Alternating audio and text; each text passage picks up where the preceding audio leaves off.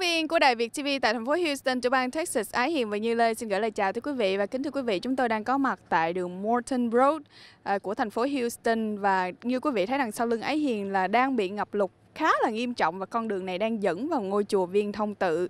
Và được biết bây giờ là chùa Viên Thông Tự ngập trong biển nước. Và bây giờ chúng tôi xin mời quý vị cùng à, theo đoàn phóng viên của chúng tôi để ghi nhận những hình ảnh lũ lụt tại ngôi chùa Viên Thông Tự với đoàn cứu trợ của Ban đại diện cộng đồng người Việt quốc gia tại thành phố Houston và các vùng phụ cận. Kính thưa quý đồng hương, à, chúng tôi Trương Minh Tính là tổng thư ký của Hội đồng đại diện cộng đồng và cũng là một thành viên trong quỹ ban cứu trợ à, bão Harvey. Thì bên cạnh chúng tôi có chị Liên Nguyễn là một thành viên volunteer trong cái cái hội trong cái à, đội cứu trợ.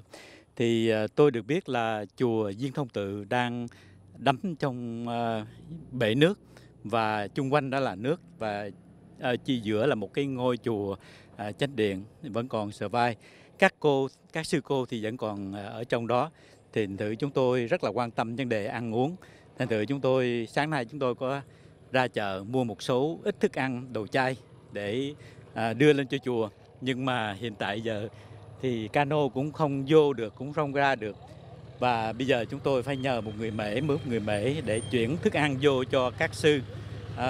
Thì chúng tôi cố gắng làm những gì chúng tôi có thể làm được để giúp uh, các sư cô còn kẹt lại ở trong chùa. Well, I'm from uh, Richmond, Virginia, and uh, I came to uh, see my son so we can go back to Richmond.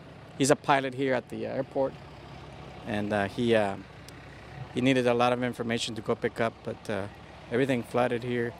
We had a lot of a hard time trying to get in. Gustavo cho biết tôi đến từ Virginia và cùng với con trai của mình, con trai của tôi hiện đang là phi công tại phi trường này. Tôi đã từng ở Lake Jackson, khu vực tiểu bang Texas. Hiện giờ con trai tôi đang vào lấy hồ sơ cần thiết và đã quyết định lội vô bên trong. Đúng như vậy, thật buồn khi thấy Houston đang chịu cảnh thiệt hại nhiều và tuy có những việc rất là đau thương xảy ra nhưng cùng lúc ấy mọi người cũng hỗ trợ nhau vượt qua và đó là một điều tốt lành. Đài Việt TV cũng có hỏi một à, người dân sinh sống tại khu vực này, cô Heather